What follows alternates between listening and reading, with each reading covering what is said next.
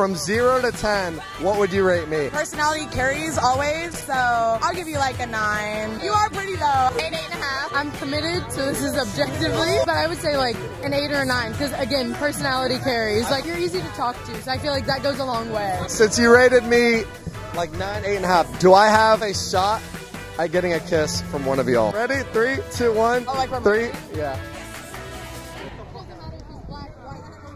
Y'all are so cute.